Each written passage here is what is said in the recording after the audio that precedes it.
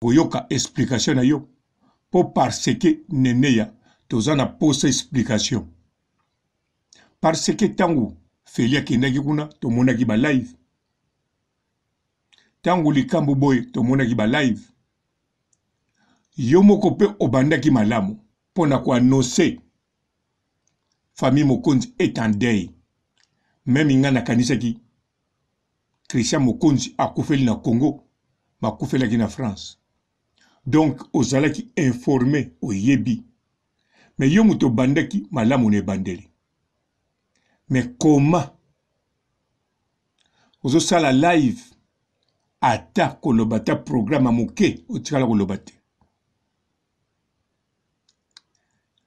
ata kolobela yango ozoloba kaka te osali ba live ebele bande okomaki Christian Mokonzi ton âme repose en paix son âme repose en paix ti sikoyo osali ba live ebele me nene ya kelokelo likambo nini eleki oyo ezanga explication likambo nini nene ya kelokelo nandimi te ke bapekisaki yo olobela makambo ya matanga na ndimi te ke boswani lisusu kaka na jour ya matanga na nani lisusu na Carine po yo moko lobi heure moko boswanaka bokangamaka enemi ya deux ans alors na ndimi te ke lokola yo postaki avant Carine aye koposte na sima yango wana obangi ou bien boswani to nini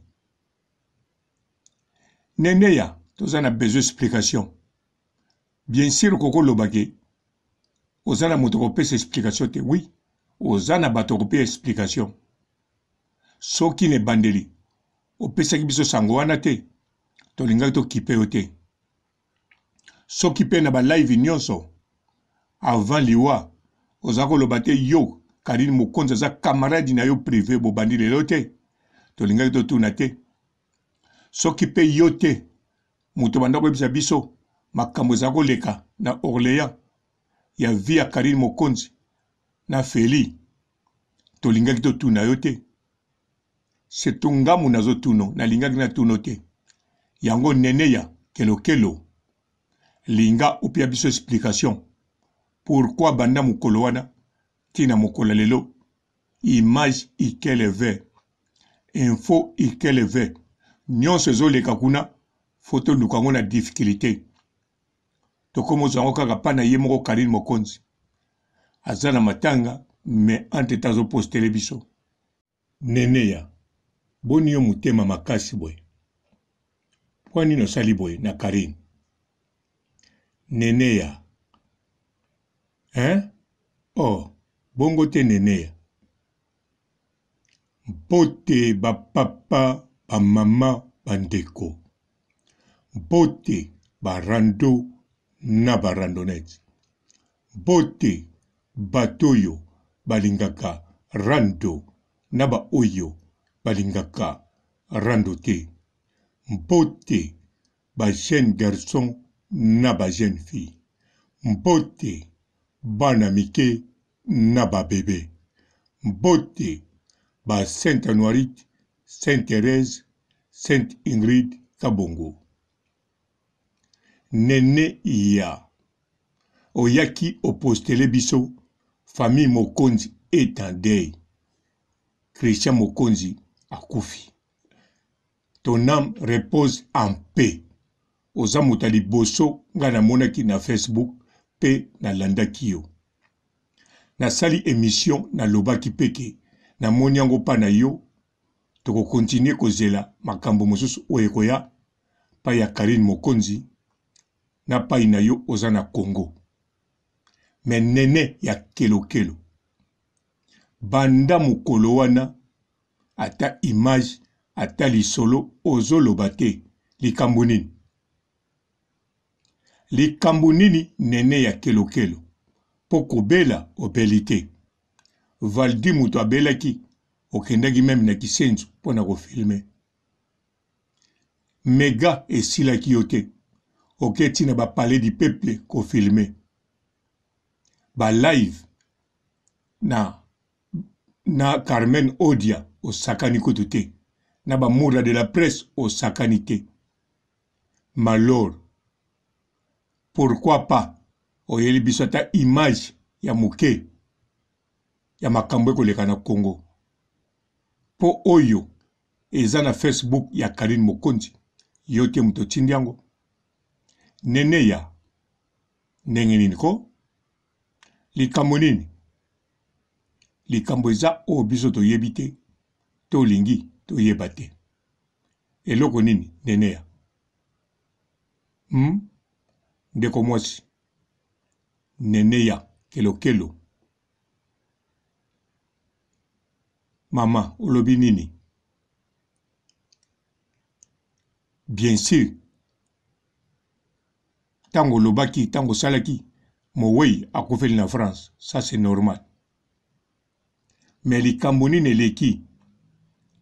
Soki likambo eleki eza grave, mabe eza te, ozosala ba live, zwa na kati ya live na yo, luka opesa biso explication, luka osala eloko moko biso totala, toyoka, toza na posa ya live moko ya kitoko eh, neneya soki osali live moko ya bien tokotala mpe tokosepela na live yango tokoyoka explication na yo mpo parce que neneya toza na posa explication parce que ntango feli akendaki kuna tomonaki balive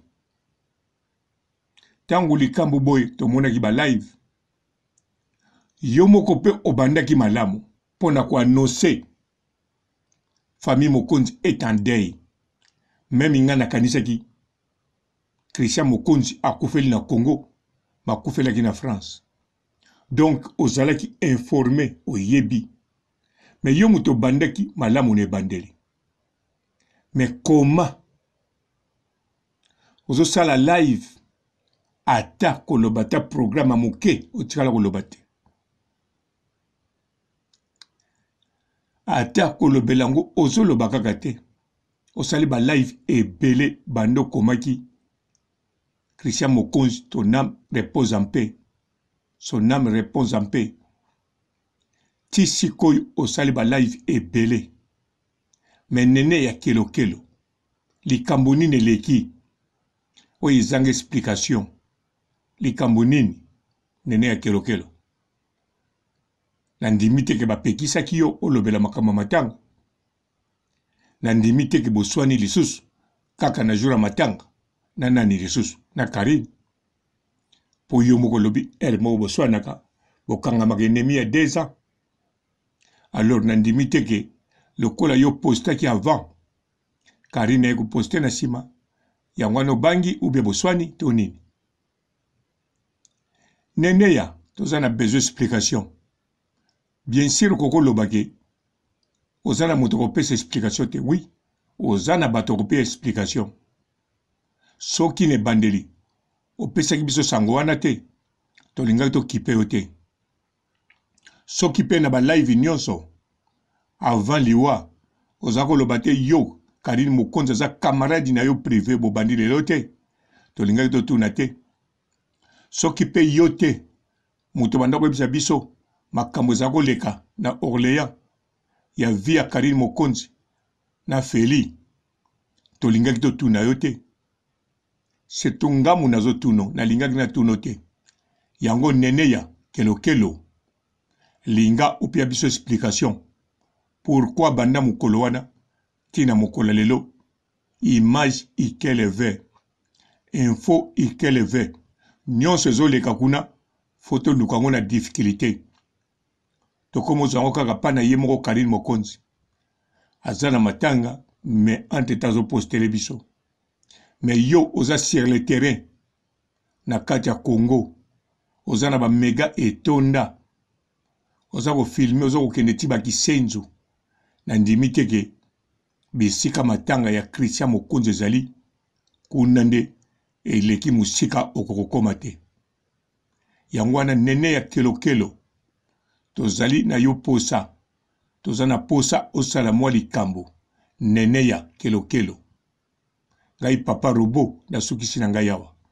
Neneya kelo kelo explication nde toa na ngo posa. Ciao.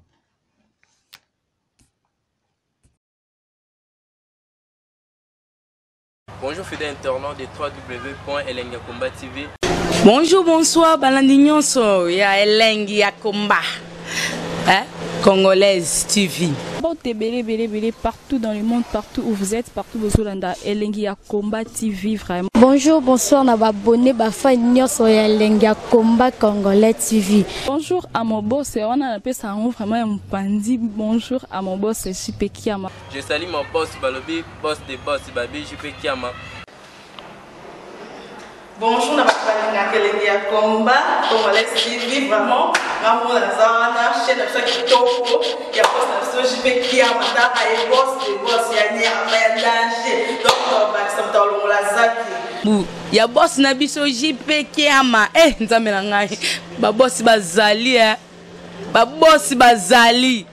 Eh, JP Kiama, le boss des boss. napesi d'abord bonjour toyeba bambote ebele na mabosi jp kiama wana nakozangisa yo te donc nakoki koleka te sana napesa mabosi jp kiama boss de boss mbote ebele ebele ebele partout dans le monde partout où vous êtes partout bozolanda elengi ya combat tv vraiment bonjour bonsoir na babone bafai nyonso ya elengi ya combat congolais tv bonjour à mon boss wana napesa yango vraiment ya mopanzi bonjour à mon boss jp